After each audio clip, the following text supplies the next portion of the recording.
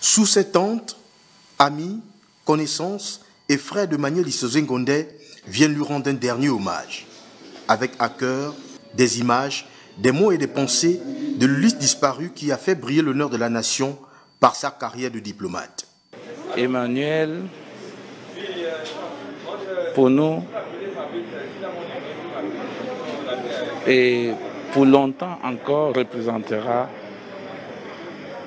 un modèle, un symbole de ce que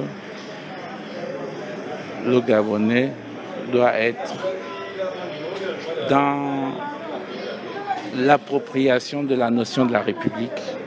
On retient que Manuel, pour un jeune de la province de Vindo que je suis, est un modèle qui a réussi euh, toute sa vie, toute sa vie, sa vie professionnelle. Il a fait une belle carrière euh, de diplomate. Il a réussi sa vie politique. Il a fait une belle carrière euh, de fonction politique. Il a atteint le sommet.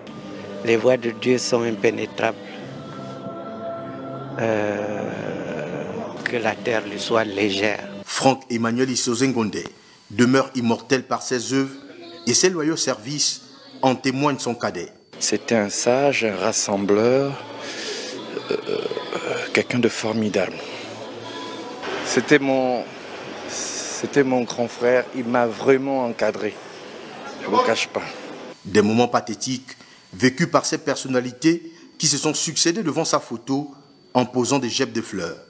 Dans quelques heures, Emmanuel Issozen Gondé retrouvera la terre de ses ancêtres en pays Kota.